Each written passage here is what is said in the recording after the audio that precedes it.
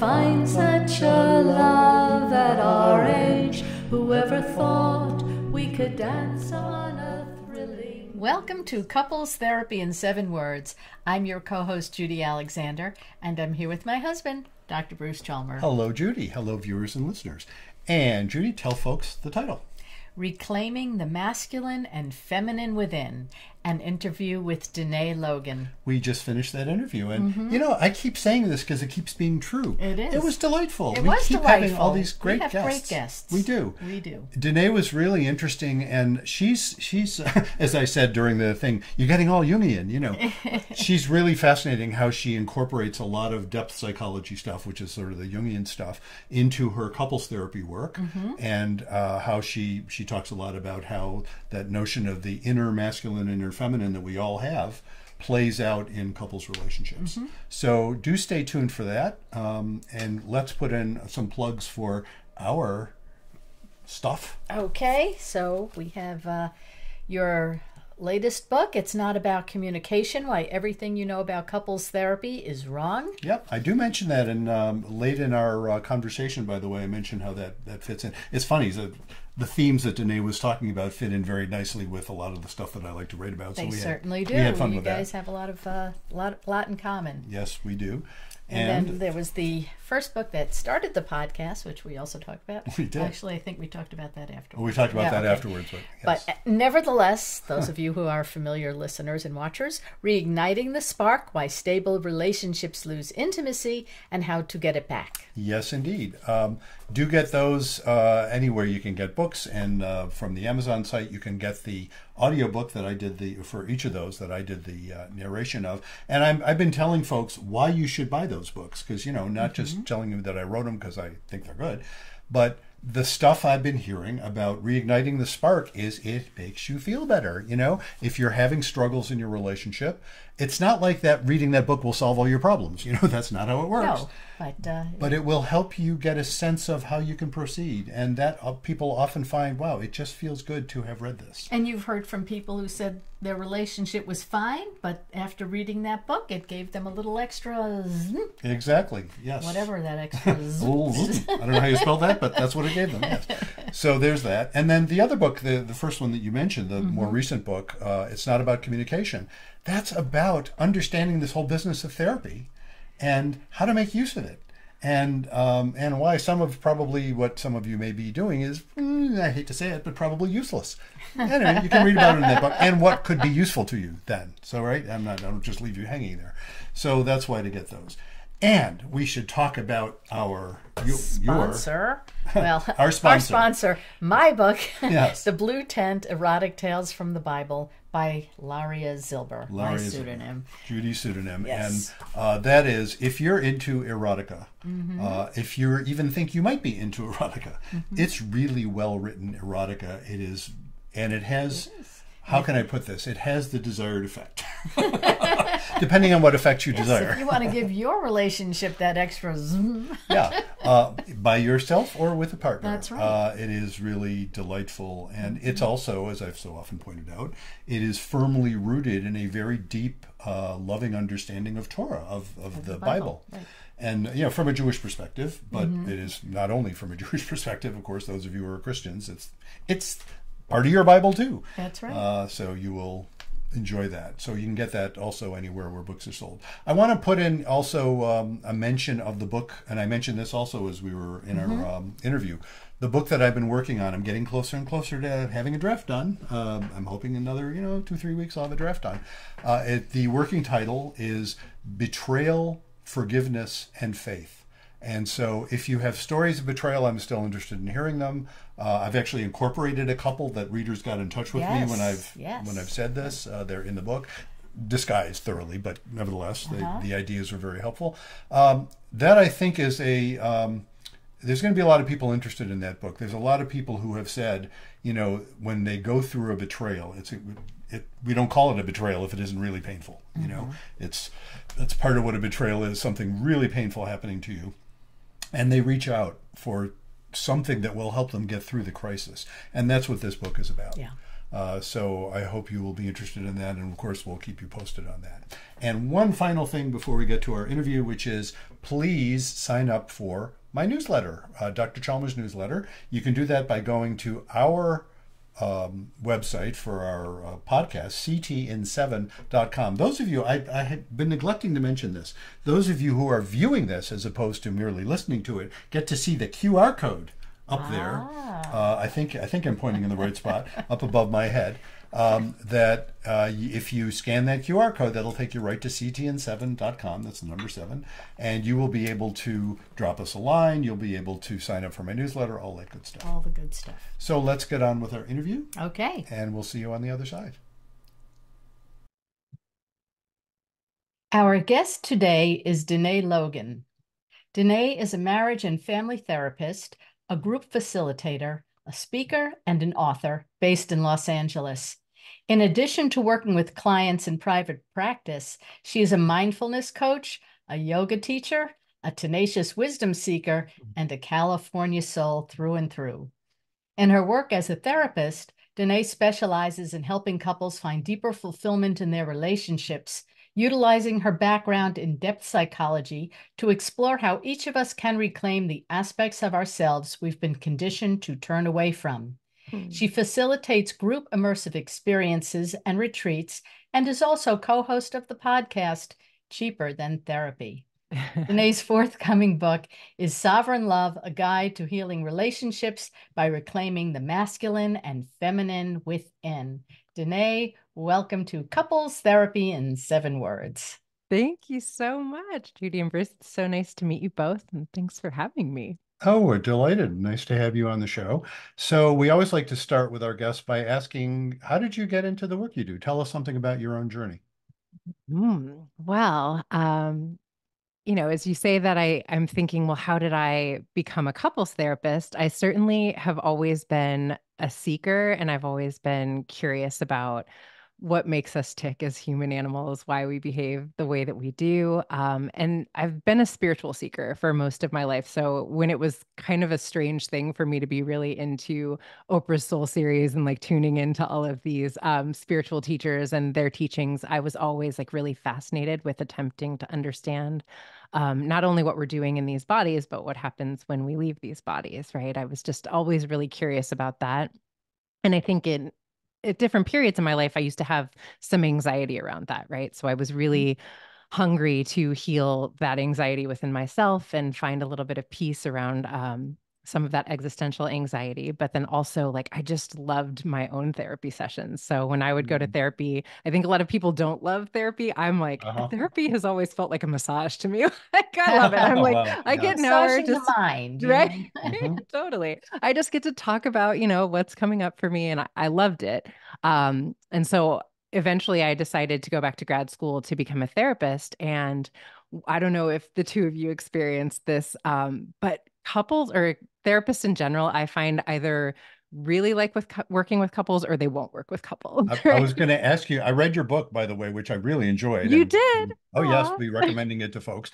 But what that was one of the things I had listed as one of the questions to ask you is that very comment, because I totally get that myself. I'm uh, between the two of us, I'm the therapist. I'm Judy not. is- yeah, okay Judy's not, Judy's an educator. But beautiful that was, um, yeah, I, I love it. And I have so many colleagues who won't touch it with a 10 foot pole. it's so true, right? Yeah. And it can be hard to find referrals for couples therapists because I find a lot of therapists really don't like working with couples that much. Mhm. Um, but for whatever reason, I loved it. When I started my practicum after grad school, I was like, this is fascinating. And they just started giving me all the couples in the private practice that I joined um, because I enjoyed it so much. And so I found that um, there was something about attempting to understand how we love that just really fascinated me so much. And um, what I talk about in the book that you were just referring to, Bruce, is that as someone who was working as a couples therapist, I'd been married for almost 12 years, and I realized that my relationship was going to change form and that we needed to transition from a marriage into a friendship. And it was like this fascinating like oh so i'm the couples therapist whose marriage is ending this Uh-huh. is this is the fascinating place for me to find myself I was in. too once, by the way, just saying. oh you were I, I was, was in, a, in a similar, well, yeah, in a, in that position as well. Yeah. So you 20 understand Yeah. I how that leaves you with like, well, but it also gives you, you know, a, a different perspective on a lot of how we've held relationships. And I certainly became almost determined to understand what makes fulfillment and partnerships so challenging for so many of us. And what I found was that there's just a way that, you know, um, the patriarchal programming that all of us have lived with um, is impacting our relationships in ways that I didn't really find a lot of the couples therapy orientations were talking about or exploring. And I kind of became obsessed with Bell Hooks's work. And Mm. she talks a lot about how there's just a way that all of us are impacted, regardless of gender, by patriarchal programming. And I started to see that, like, all of the couples I was working with, this was impacting how they were relating to one another in ways that had never really been explored from my perspective in, you know, the clinical work that I'd, I'd sort of drawn from, you know. Yeah. Yeah, I noted also you got all you get all Jungian, right? that's Get that's all another part Jungian. of and the depth psycho- psychology stuff and the Yeah. the anima and animus stuff. I don't know that that's a very that isn't even a question, but please talk about that if you would. Like, how do you Yes. incorporate all of that? Well, you can tell you're a therapist. You're like, you get all I into the anima and animus. And a lot of I'm times when- going. She's Sorry like, what are about you that. two That's okay. No, talking this is why I, I, I do this. I love to learn all about this stuff. Well, and Judy's role in, in our podcast is to be the actual person who who actually speaks the language that most people speak, which is really very- I mean, she's of course Well, very intelligent I'll as well. chime in and, and ask questions Yeah. when they need clarification for us lay people out there. Yeah. Yeah. I love that because I think there's a way that we can sort of, you know, I have a podcast with one of my best girlfriends who I went to grad school with, and we sort of geek out on all of this Mhm. Uh-huh. therapy speak, but then sometimes we'll be with like our partners or people in, in the world, and they'll be like, y'all are really just sort of going off in like Jungian tangents. And we're like, oh, sorry, reel it back.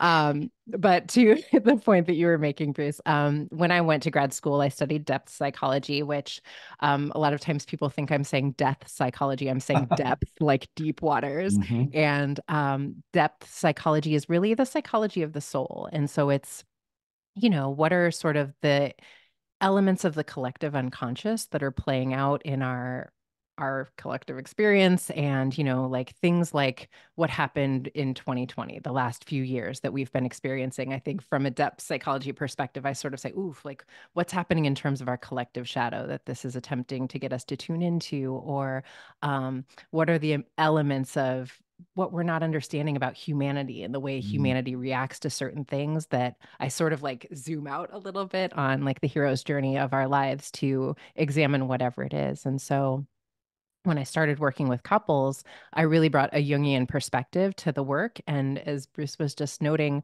a large part of what Carl Jung was the first person to talk about was that all of us have both masculine and feminine energetics within us. And he called them the anima and the animus. And the anima is sort of the like you know the way Jung described them the feminine elements within someone who identifies as a man and the animus are the masculine elements um, of someone who identifies as a woman now since Jung's time we've come to understand it's a lot more complex and nuanced than just those binaries but what is and holds true is that all of us have both masculine and feminine energy within us Mhm. um, now, from my perspective, there's a lot about our world that has really operated in a wounded masculine template for Mm. centuries now, right? Like we've sort of been like productivity at all costs, like competition, like, you know, pull yourself up by your bootstraps, that sort of like hyper independent. I've got this way of like, you know, even the nuclear family structure is a real departure from the feminine way of holding things, which is really collaborative and that like we are collective and we need one another. Um, and you know there's so much history when you go back and look at the history of patriarchy that is like why that is and why that was sort of like the system of dominance that has been at play for so long. But um what i could see in couples as i was sitting with them after a while was there's a way that we have really been conditioned to outsource those elements of ourselves. So if I identify as a woman, I'm looking to identify, or excuse me, to outsource my masculine energy Mhm. if I'm in a heteronormative dynamic to the man in my life, right? So I'm not fully integrating in my own inner masculine. And I'm sort of knowing on a soul level, I believe that that's not like the fullest expression of what I'm meant to do um, with my life. You know, Jung would talk about that in the context of the individuation process and that there are certain things we're meant to experience to become who we're meant to become in this lifetime. And I think our soul sort of resists the things that stand in the way of that. And so, what I started to do was play with how these dynamics, these masculine and feminine energetics were playing out with couples. And I found that there was a way to sort of support them in integrating these dynamics mm. within themselves. And it just started to lead to a lot more harmony in our relationships, you know. Yeah, we, we gonna say say something? Yeah. So I what I'm noting, you know, as coming from a, a heterosexual male that I am, yeah. I was fascinated by your sort of two by two table mm. of which is to say there's wounded and healthy, mm-hmm. and then mm-hmm. there's masculine and feminine. Yeah. And you mentioned as you were saying that that so much of patriarchy is about the wounded masculine. Absolutely. Because what I'll note, and again, I'm sure this is conditioned by the fact that I'm a man, what I'll note a lot, I'll hear a lot from women that they're missing the healthy male aspects of the men mm. in their mm. lives. That's right. To say, you know, not to mention the healthy male, uh, masculine and feminine aspects of their own lives, but that that part gets you know one of the things that happens when uh, when it's described as patriarchy is that and i noted you had a chapter on this which i really appreciated hmm. sort of saying you know it's not just that men are messed up and women aren't or that men mess up women it's that no. no. we're all kind of messed up here and that element of uh, regaining the healthy masculinity as well as the healthy femininity in all of us is an important part of it i mean again that's that's what i resonated to yeah. Thank you for saying that, Bruce, because I think that's a really important point that a lot of times when you say the word patriarchy, um, especially my brothers will sort of like recoil a little bit like she's mm-hmm. coming for the men and patriarchy is not men. Yeah. and I cannot say that eh, strongly enough. Um, and men are deeply impacted by patriarchy in ways mm-hmm. that I find to be really harmful to men. Um, and as you were saying in um, the way you were describing that chart that's in my book, most of us as women, especially um, with the modern feminist movement, as grateful as we all are as women for the feminist movement, please hear me as I say that. Most of us as women were really, um, you know, encouraged through feminism to actually disconnect even further from the feminine elements of ourselves. So it becomes, I can do everything a man can do in the workplace. I can work an eight hour day and then come home and start, you know, tending to the kids and all of the things that need to be done. And I can be hyper productive and constantly disconnected from how I'm really feeling in my body. All of these wounded elements of masculinity. And um, I find that not only do we not have a whole lot of models of like what healthy masculinity actually looks like, um, you know, I have a little bit of a like visceral reaction to the phrase toxic masculinity because mm. I don't think that masculinity is toxic. I think masculinity is beautiful, but I think what we have been experiencing as masculinity is really wounded mm-hmm. masculinity, mm. and it's a very different thing. Um, I like that word wounded as opposed to mm, toxic. Absolutely. Because wounds can heal. But how do you reconstruct a, a system that needs to be deconstructed? That's a really important question, Judy, right?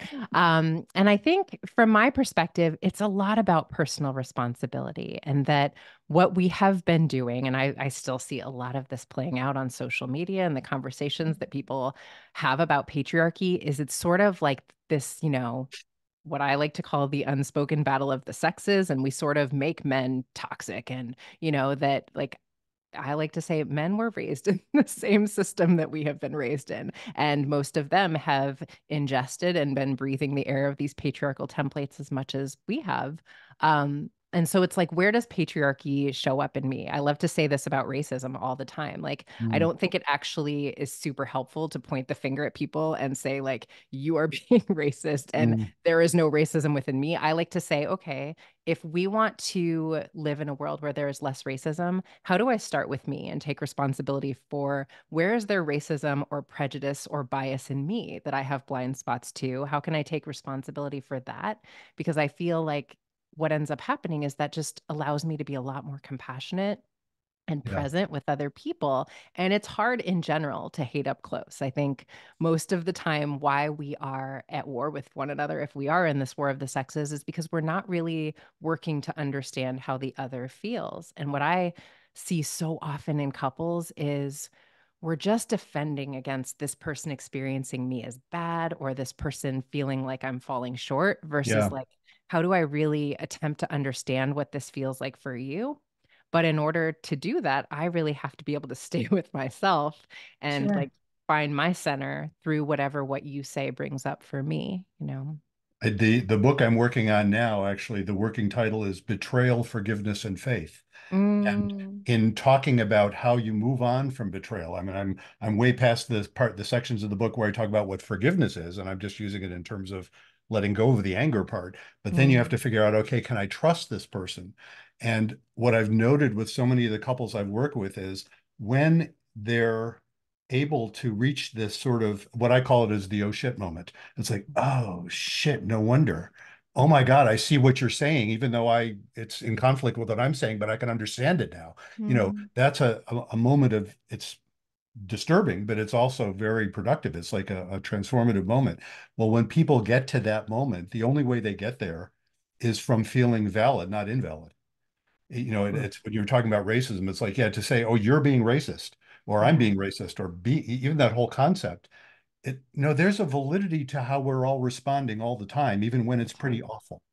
And you know what? The other thing that occurred to me as you were saying this, we happen to have interviewed our previous podcast person who's going to be, well, it doesn't matter when it's going to be in terms of when people are seeing this, but the one right before this one Mhm. um, was a, a, a woman in um, Australia who was Mm. talking about sexual fantasies. Mhm. And she was talking about sexual fantasies as taboo often. They're Mhm. the, you know, people having fantasies about being treated in ways they would never actually want to be treated you know, in fact, you know, women having rape fantasies, for example, Yes. that sort of thing. And it's fascinating because the what she does with that is starts by validating it, not start by approving of it or disapproving of it, but starts by validating. It's like, well, this is there's something important in this. Mm. I like to think that's true in terms of racism and prejudice and sexism and all of those things. There are elements of uh, how we've evolved that contribute to those things. And if we don't freak out, then we can work with it and not be so horrible to each other. That's right. Yeah. And I Yeah. love what you're saying because I think that there's something in the curiosity around the thing versus just immediately going to the black and white thinking that this is like immoral or moral or right, right or wrong, um, where we sort of shut ourselves off from the understanding of what is attempting to come to the surface in whatever the thing is, right? So if there's specific fantasies that are coming to the surface for me, can I be curious about what's that about? Like what aspect of self am I attempting to tune into or not giving myself access to that that fantasy is an indication of that maybe I've relegated to the basement of my psyche and I'm not allowing Mhm. any space in a way that could shadow, be healing. right? that's that's the Jungian yeah. shadow. Yeah. Exactly, yeah. Sorry about that. That's okay. We're, geeking out here. Yeah. terms, that's okay. yeah. But, Um, I just want to go back to your book because you organize it around three stages, if I'm not mistaken. There's structure, seeking, and sovereign. Yeah. So can you talk a little bit about that? yeah. Explain that to our listeners.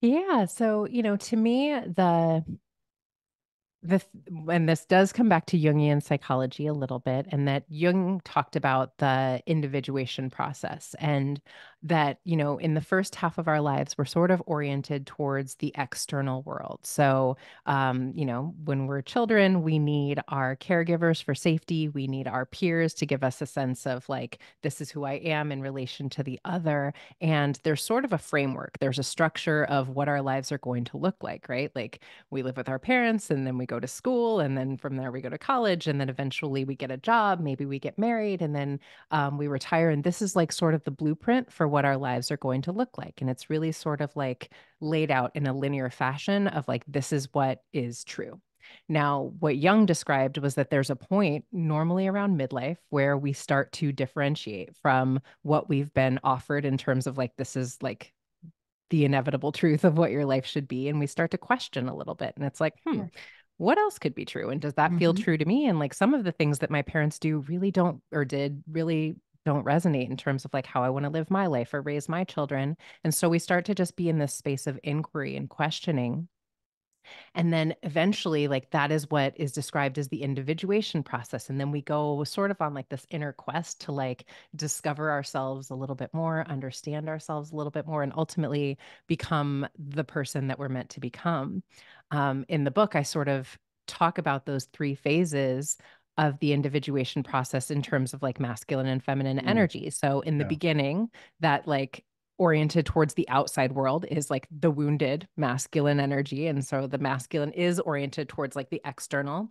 Um, when we come to that midlife phase and we start to be in the questioning, the inquiry, that sort of we go inward, which is the feminine, right? And so we go into the like dark, mysterious space of um our soul space. And tom- sometimes that looks like um a dark night of the soul or something that like really disrupts us in a way where we start questioning everything in a way because we have no choice and then eventually that third stage of stage of life um, becomes what i would call the sovereign stage so it's like structure seeking and then sovereign and that's hopefully where we start to integrate those masculine and feminine energetics within ourselves and then we're sort of in that space of like yes i know how to go inward and get still and come to like the truths that feel really resonant for me but then i move into the space of inspired action and i go out into the world and i can be of service in a way that is Mhm. like the unique blueprint for how i'm meant to serve and you know show up for the collective because i have a sense of myself Mhm. Wow.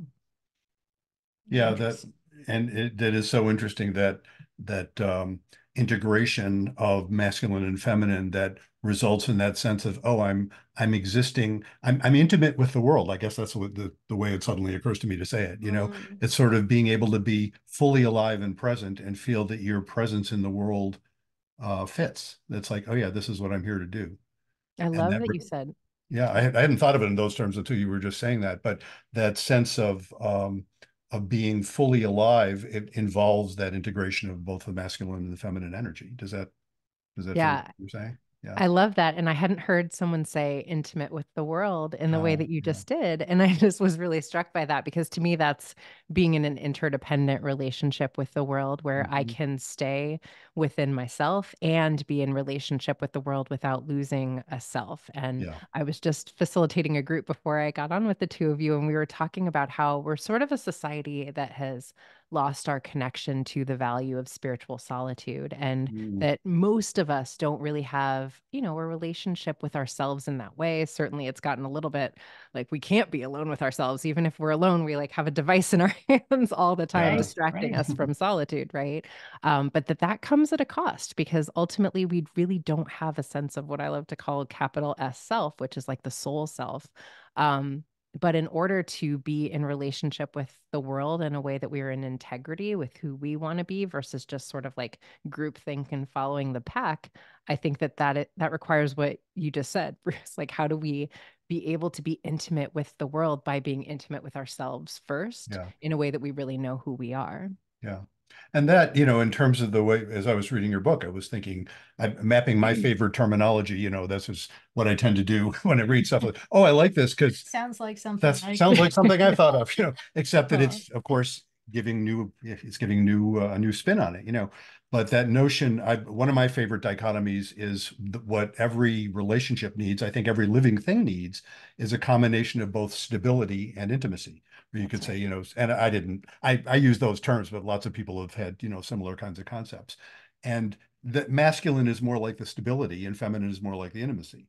That's, what it's about. And you need them both. And I, as I often point out, the chief skill of stability is to avoid anxiety or Mm, lower it. The chief skill of intimacy is to tolerate it, to tolerate right. anxiety. And it's to find that balance and not freak out is kind of there's there's the the trick of living, I suppose. Certainly the trick of being in a couple. Oh my is yeah. Judy, your husband gets it. You're like, He "You're does. fucking a woman. Well, the, the neat thing is she does too, and doesn't have to Hmm. describe it in 37 syllables, you know, which is kind of nice. It works well for It us. works well. I mean, I love it. You guys are goals. That's beautiful. And I think you're right, Bruce. There's all of these different ways that all of these different couples therapy modalities or ways that we've talked about the human experience attempt to sort of describe what you're saying. I think like sometimes people describe it as like attachment versus authenticity or um stability versus adventure but ultimately to me i sort of see things through that masculine and feminine lens but what i have found is we've put such an emphasis on the structure and the stability and like Yeah. here's how you communicate to keep the structure intact versus Mhm. like yeah but we also need eros we also need aliveness and sensuality and all of these Mhm. beautiful elements of life force that i think are the feminine that we haven't Yeah. put a lot of emphasis on, you know. My my last book was titled "It's Not About Communication: Why Everything You Know About Couples Therapy Is Wrong." And I a heard rather that. arrogant title. I love it. it's not about So communication. it's exactly that. And it's funny. I hadn't thought until now. I had until you're saying this. I hadn't thought in terms of yeah, the whole focus. Because what I my basic thesis is all of this stuff where people train people in active listening and yeah, they're not bad ideas, but when they become the focus, when they become the ideology as opposed to the idea, it just gets dead. That's and right. it it's not what it's about. And i never thought before in terms of yeah that's all the masculine structure stuff. It's not the feminine intimacy stuff. Ugh. And- yeah I, He so gets it. And, Yeah. you know, I think a lot of times people say couples therapy doesn't work, and it's because it kind of doesn't, to your point. Like it hmm. works for like a week or two when we're really like, let's, you know, keep playing out the like roles and like doing whatever the dialogue was that our couples therapist instructed us to to Mhm. do and then the aliveness the emotion the like you did this thing and i don't care about the script rah, like comes up and all of that's out the window and it's irrelevant but if we can be curious about like okay i am deeply activated by you i wonder why can i Mhm. pause and like get into the space of curiosity versus like you know yeah we're going to be activated. This is what it is to be alive and hopefully make that a good thing about our relationship. There's life force here you know yeah yeah i i liken therapy to improv basically Mm. And- and when I used to, I I just this year, I'm I'm old enough now that I finally decided I'm not going to take insurance anymore. You know, I mean, I have the license that has let me take insurance. I've done it for 30 years. Mm. I finally last year said, "Oh, to heck with it, I'm done." And one of the nice things about that is I don't have to worry about treatment plans. yes And and I, I point out in the book, it's like, well, the thing about a treatment plan for couples therapy is it's not treatment and it's not planned. Other than that, it's fine. You know?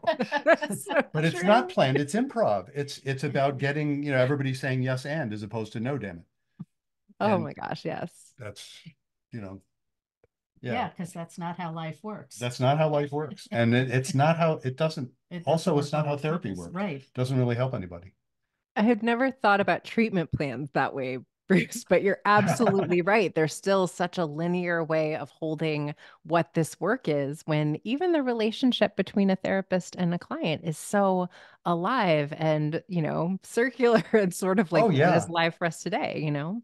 oh and and think about you know is it a success or not when you're in couples therapy there are three people involved in it and they probably have three different opinions of whether it's a success or not and i recognize when i'm the therapist my opinion is the least important of those three but it counts too. And Yeah. you know so people will say well what's your success rate? I don't keep track of a success rate. I noted this you you pointed this out as well. I, actually i listened to one of your podcast episodes too Aw. with, with uh, vanessa. I really enjoyed that. And Thank i think you pointed this out in there too or words to this effect. It's not about saving the relationship. It's about people being better. Yes. and sometimes being better is about breaking up. And i i tell people i have a bias. I don't i don't shy away from a bias toward Hmm. wanting to help people stay together if they want to because i feel better that way you know and i'm an, I'm an old soul, you know Yeah. but it's a bias but sometimes you know uh, uh, is it a success or not if they break up well one person might be feeling like oh good that's just what we needed to clarify things we need to break up Mhm. and the other person may be devastated by that and feel like no i want i was trying to save it i don't know how to evaluate that other than to say well that's life i mean that's you know that's a good thing we got to where we needed to get to apparently even though that was unhappy for at least one of the one of the people. It's just not you know the stuff that they talk about when when i had my gallbladder out my usual go-to isn't that a great thing to talk about? Aw. i won't show you the scar. It, it's very small it was laparoscopic. This is a long time ago this was 20 some years ago 23 24 years ago. Before yes before we're we've been together 20 years. When um when I had my gallbladder out, I was really glad I had a very linear, I suppose in your terms, masculine oriented surgeon. I Mm, well, yes. actually be a man. But the point was, even if it was a woman, you know, that that linearly logical, uh, yeah. not constructivist, but but logical positivist. You know, it's like I know what the thing is, I know where to go to get it out, and when I take it out, you'll feel better. And damn it, it worked. And I was very glad about that. But couples therapy isn't gallbladder surgery. Yeah. It just doesn't work that way. Yeah. And I think what you're saying is really, I mean, I love so much of what you just said, Bruce, but I think there's something really important in what you're saying in that, like, we do need structure. We Mm. do need certain things that keep us tethered to something that, like, provides consistency. Without that, we're just sort of like flailing through life with a lot of, you know, anxiety and, you know, just feeling like we're not rooted into anything that gives us a sense of mission and purpose and all of those beautiful elements of the healthy masculine. Um, but the other thing you said that I think is really important is I think that multiple things can be true at one time. Like Here, while here. right? Like I often say when I sit with couples, the relationship is my client and I I want what's best for the relationship. And sometimes that means for it to dissolve. And I often say that I think people a lot of times end things too quickly in our society Mhm. and they sort of are like too quick to throw in the towel and too quick to just say like well this isn't working so let's just scrap it. And so both of those truths can exist in the room, you know. Mhm. Yeah, and that especially, I think people will sometimes break up uh, in in great pain. I don't see people breaking up lightly. At least, what are they seeing a Mm. therapist for, if that's the case? But they'll sometimes break up in great pain before they've learned what they needed to learn, Yes. which often seems sad to me. You know, Which the- they, and then they carry on to a f another relationship. Yes, Because they exactly. haven't resolved it yeah. or dealt with That's it. right. Mhm. Absolutely. And I think that you're right, Judy. I think whatever the elements of our shadow are that we haven't integrated, I do think that they will rear their head again in the next relationship if Yeah. we don't sort of step away from the dynamic and say, what was this dynamic showing me about me? Because so often it's like, oh, I was in relationship with a narcissist, this horrible person. And it's like, well, if I don't understand why I was attracted to that Mhm. energy and that dynamic in that person, I will inevitably find that in the next person I end up in a relationship with. That is so true. Oh yes, yes, indeed. Yeah. What what else should we be asking you about? Well, I, I just feel- Oh, wanted to ahead. ask you about, um, you know, femininity, you know, Mm. because you talked about being how women are raised in in a world where, you know, you want to find your knight in shining armor and somebody to come along and save you. But how do you how do you go with that scenario versus being independent, but yet wanting to be in a relationship, wanting the man to be masculine, but not too masculine? And It's tough to be a woman, right, Judy? It's like we're attempting It's hard to, to be uh, a man too. It's like, you know, Absolutely. uh, it- w- when you have all of these changing roles in in life, you know, how do you how do you now define masculinity and how do you now define Mm. femininity? I was thinking when you said that, that you know, when you said it's hard to be a woman, I was thinking of the America Ferrera thing in the Barbie movie. Right, Did you see, that's see right. Barbie? You know, that's I what that was all Yeah, that great speech. Yeah. Yeah. Yeah. And I think that what you're saying, Judy, really illustrates that. And you're right. It's hard to be a human. And I think mostly because there's all of these external voices telling us who we need to be in order to be doing it right or to be worthy. And I think a lot of the healing of the feminine is can't get it wrong. Right. This is what we came for. I believe this is a life school that we came to learn about ourselves and have all of these things that sort of turn up the pressure and ask us to be in the inquiry about ourselves. But um, in terms of what you were saying about like what does femininity look like and what does reclaiming the feminine look like in a societal structure where so much of what we've been taught about what it is to be a good woman and a good partner um, is really it's confusing and it's it's challenging to know what that could conceivably look like in terms of like healthy integration. But most of the time what i find is that the messaging we got as women was like well you just need to do it whatever it is perfectly right you need to have Mhm. perfect children you need to have a perfect husband you need to look perfect you need to like you know whatever the highlight reel that everyone's seeing is it needs to look really good right Mhm. um and that's that's shifting constantly based on whatever environment i'm in but so much of I think what we were conditioned to believe is like we should want a man if we're speaking heteronormatively we should want a man we should want a man who you know is able to do all of these things to take care of us and provide and all of these things that men have all of this pressure put on them to be but we should not trust them to do it right Mhm. and Boy, did that say it from, right from a man's point of view. That's just amazing. Yeah. I see that all the time. Yeah. I mean, I absolutely see, I see it with men, you know, what I actually, I see it with women complaining about men. Understandably, it's like he doesn't seem to know what to do. And I'm thinking, yeah, we don't know what to do. When feminism came along, and you know, I'm, I'm, well, I'm a few years older than you, but it, uh, you would Same remember this. too. We're in the same generation, and that you know, in '70s, second wave feminism came along, Mm-hmm. and so many of us as men were thinking, well, yeah, we don't want to be jerks the way we Mhm. generally have been, you know, and And yet, how to not be a jerk but still be masculine turns out to be a real challenge for a lot of men. And I notice this with a lot of young men. They don't know how to approach a woman. They don't know how to take the lead when the woman seems to want him to take the lead. And that's what I hear from women is he won't be the guy. I, Yeah. I do want him to be the guy. Yes, I'm a strong woman. Yes, I need to be respected, but I want him to be the guy sometimes, like especially in sex. And the guys don't know how to do it. That's right. Yeah. And I think what you're saying is really important. And this is a place where I sort of get after my sisters a little bit, Bruce, and say, we cannot ask a man to lead if we're not willing to trust in his leadership. And Mhm. ultimately, it becomes, if I don't trust him, why am I with him? And that's Mm. like a real question that we have to ask of ourselves. Um, and, you know, I think there are generational pain points that have led to why we feel that way. It's understandable. But at some point, it's about like, do I trust in life? Do I trust that whatever happens, things will be okay? I can't tell you how often, just as you're describing, Bruce, I will sit with a couple where the woman is like deeply dissatisfied with the amount of emotional labor she's carrying in the household. And, you know, all of the things are my responsibility to figure out. And I can't get him to pick up half the load. But then when he attempts to do some of the things you're Mhm. asking, you're sort of standing behind him, micromanaging and telling him why he's doing it wrong. right. And he's like, oh, what do you want? Like, I give up. Like, I'm not even going to try because no matter what, I'm going to be doing it wrong anyway. And I think, you know, in the conversation we were having before.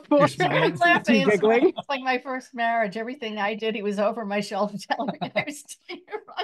So yeah, Well, and- the other way around. the other way, Yeah, yes. yeah. You know, it's funny because I talk about that in terms of underfunctioner, overfunctioner dynamics. And, you know, I don't actually think those are as gendered as people suggest that they are. I was probably more of the underfunctioner in my marital dynamic before, where my husband was like the more like structure linear, like this is the way we do things. And I was like, I don't know, we'll figure it out. We'll get there. And he was like, no, we need to plan for retirement. And I was like, we're not anywhere near it. Calm yourself. Right. But I think that it's um yeah, their their energy, right? And I think that it's sort of like how do we be curious about like what because we will inevitably create polarity, I believe, with whoever we're in relationship with. So if I were with someone who was a super under functioner, then I would probably step into that over functioner role a little bit more because somebody has to, right? Yeah.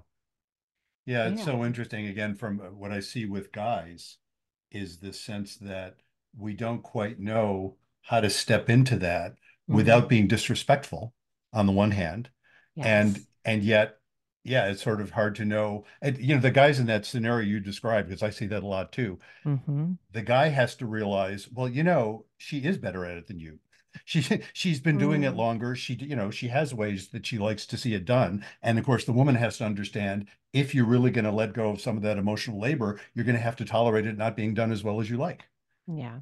not because And- he's being a jerk but because no you actually are better at it you know you've done it for years you know And I think that's generous of you to us ladies, Bruce. But I would also say that just because he doesn't do it the way that you would do it doesn't mean it's wrong. And I think Mhm. that a lot of times we can get very like, you know, understandably, we attempt to manage our own anxiety by making sure it's done the way that I would do it. And Mm. that's some of my own inner work to sit with. But I think what you're saying about men, I think we're living through a time in history where men are really, I from what I find, attempting to like understand and rise and do what's being asked of them.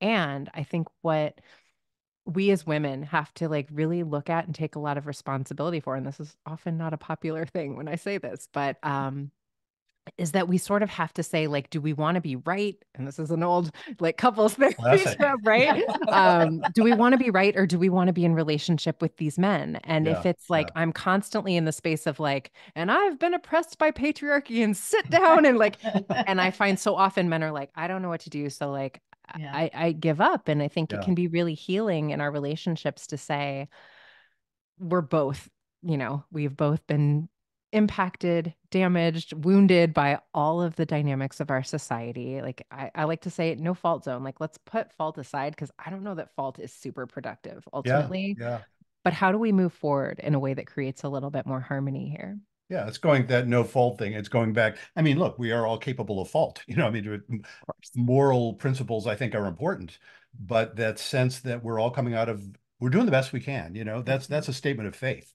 We're just Mm, we're doing the best we can under the circumstances, including the circumstances of what do we understand? What if, what's our background? What's what have our experiences been? And when you come from, But it's the way you react to it also, um, will deter, will help your relationship too. oh yeah, Mhm. well, when you when you do it from a standpoint that well, I'm doing the best I can, but I know you are too. Right. And so when we're in conflict, there's a sense there that rather than fight about it, it's like, well, as you said, you can get curious about it. You know, it's one other thing I've noticed with um, with women and men over the years that I've been doing, you know, 30 years or so that I've been doing couples therapy. And that phenomenon, again, it seems sort of generational that says now the old man speaks. When I was a boy, you know, when I was a teenager, Uh-huh. it's, this is going to sound amazingly old fashioned. You know, I'll use old fashioned terminology. When I was a teenager, if you wanted to, do it, like, assuming heterosexuality here, when you want to, if I wanted to oppress a girl, you know, if a Mhm. guy wanted to impress a girl, he had to show prospects. you know, he had to show himself capable of Mm. having that sort of masculine focus on I expect I will be able to support a family. You know, when you're having babies, I will be able, you won't have to be working outside the home when you're raising a baby because I will be able to support the family. And as second wave feminism came and you have many changes that most of us welcome, you know, wow, isn't it interesting? Women can be doctors, women can be lawyers, women can be therapists. Yeah, well, you know, all these things. Yeah. It's like, oh, women can actually make a living, still maybe not at the same level, but mm-hmm. a lot closer. And so women stopped looking at men as as saying, I better be attracted to somebody who could actually support a family.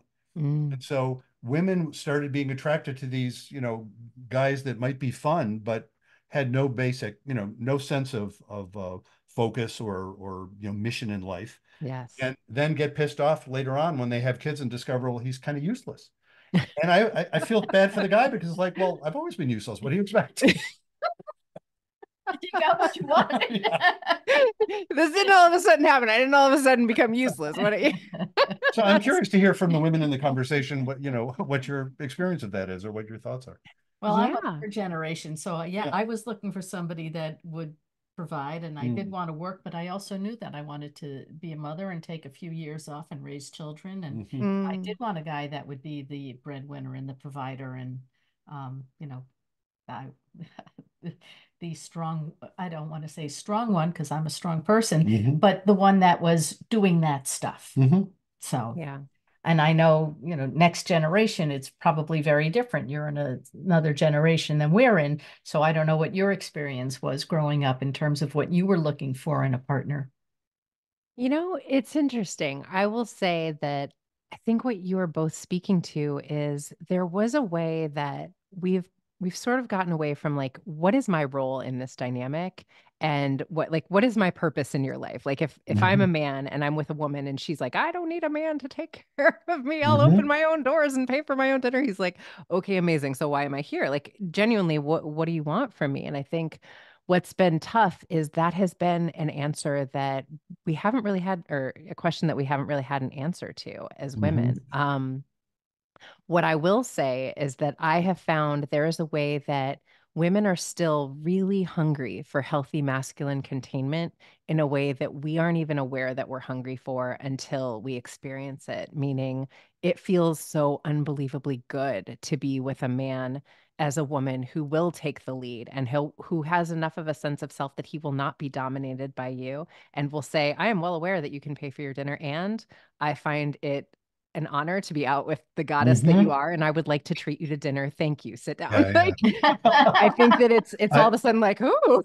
I know, that- I'll, that I- feels I'll kinda share a story. At, at the, it's the opening door story. You know, the first Mm. time I met Judy, uh, and I was already in my early fifties, and she was in her forties, you know, mid forties, and uh, so we were. It was we were just getting in the car, right? Mhm. And Judy just observed very. She's very really nice about how she does this, and she said, "Oh, do you open the door for you know for your date?" And I said, "Would you like me to?" Mm. Because in my previous marriage, that probably would have been taken as an insult yeah.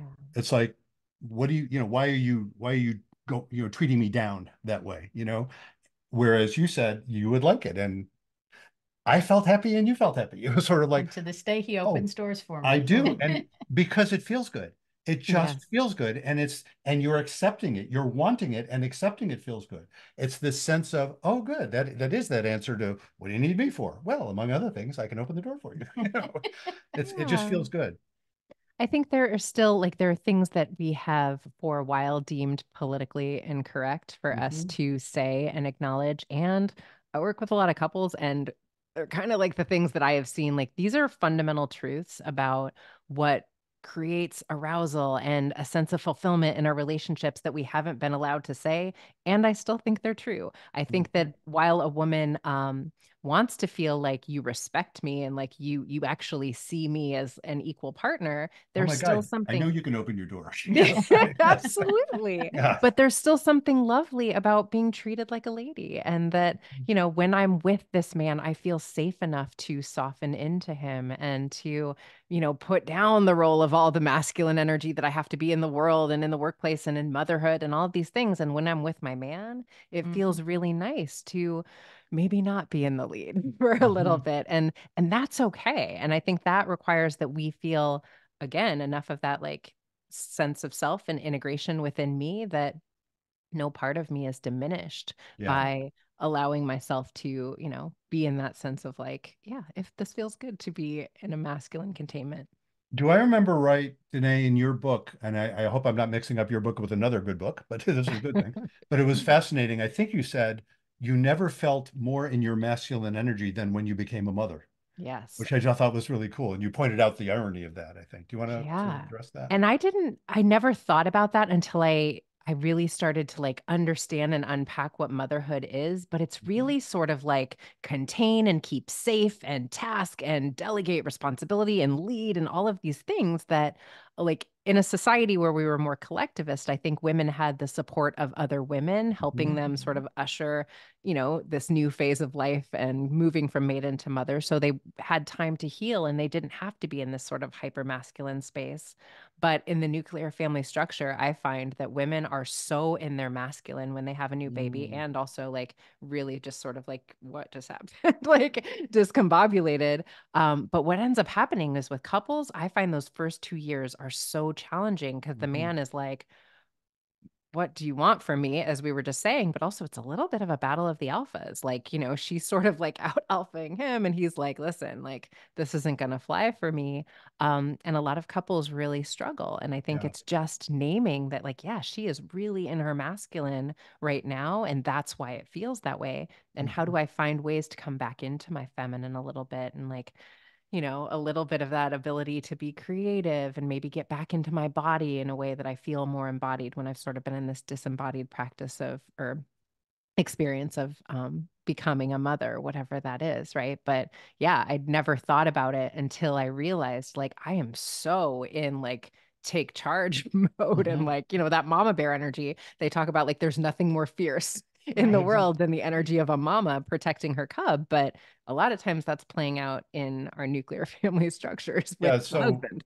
it's interesting with, with in in those terms, mm-hmm. not surprising then that phenomenon, as you noted, and I was just thinking in, in the sexual domain, that phenomenon, yes, of course, there are physical reasons for a few weeks or however long when you're healing, Yes, but that phenomenon that the erotic charge takes a real hit in that's early right. motherhood, uh, early parenthood, you know, but when the it's an early motherhood thing, that's not surprising. It's like, well, yeah, if you're looking for that sort of masculine feminine thing to be erotic, That's there right. ain't much of it there when she's all masculine and he is too.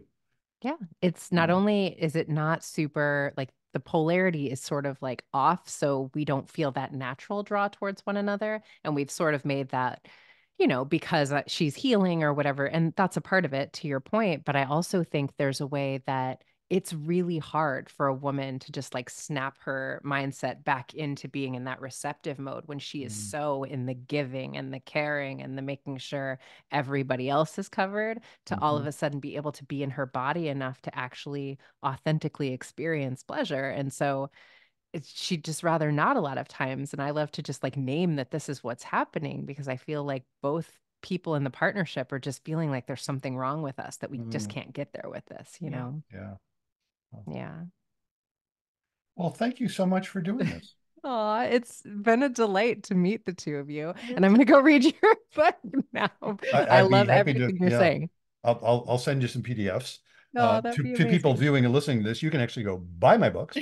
but, but also, when does your book come out? I know it's still forthcoming, right? Yeah, May 28th. Um, it's going to be available everywhere. And it's all about all of the dynamics that we're talking about and how I see them playing out with couples. I give lots of examples of like how I see them playing out and what to do about it. Yeah. And, say the title again. It's um, Sovereign Love. Thank you, Judy. Um, Sovereign Love, a guide to healing relationships by reclaiming the masculine and feminine within. And just for folks who are who knows when they'll be seeing this or, or hearing it, uh, that's 2024 is the year. So Yes. it's coming out what you said, May May 28th, 28th. 2024. And uh, so people can and they can find that wherever you can find books, presumably. That's right. You guys are the best. You're like on top of all the things I'm forgetting to say. I Oh yeah. Well, we started this podcast actually as a way of promoting one of my books when it which came out on February 29th, 2020. Just Aw. in time for the pandemic. You're How cool like, is that? Really? So Aw. that, there went all the So a possibility. podcast of- was born. so we, Wow. we started the podcast. We kept having fun doing it. So that's why we do it. Yeah, but I bet that gave a lot of people opportunities to hear the podcast and really connect to what the two of you are doing in that way. Yeah. and we've been having a blast doing it. We've been Aw. meeting great folks like you. I mean, you know, this is great. We we've met so many interesting people over the past. What are we coming up on four years? Coming up now? on four years. Yeah. Mhm. Wow. been great. wow. Yeah. Just So such a thank delight you. to meet the two of you. Thank you so much for having me. Thanks for doing it. Well, we hope you enjoyed that interview with Dené as much as we enjoyed interviewing her. Indeed, she was really a lot of fun, as Mm-hmm. as so many of our guests have been. It's just been it's been really great. We we've been talking about that. We it's such a privilege. We get to do this, and it's funny. Dené was in we're in Vermont. Dené was in Los Angeles. Right. The the interview we did for our previous the most recent uh, podcast was with somebody in, In Australia. In Australia, Yeah. we've been all over the world. We've had folks in Europe, and, and, yeah, we, yeah, we've been all over the place. and yeah, I don't think we've had anybody in Asia yet, but maybe that'll change. Who knows? yeah, that's true. So we've been, or, or Africa. I don't think we've had anybody in Africa yet. Anyway, there's people so all if you're over in. Asia and Africa, Get in touch if you want to be on the show. Yeah, Love to us know. have you. Uh, and uh, buy our books and sign up for my newsletter and drop us a line and all that kind And of good stuff. And follow us and like us and tell your friends. Tell your friends, absolutely. And so until next time, Remember, be kind don't panic. and have faith.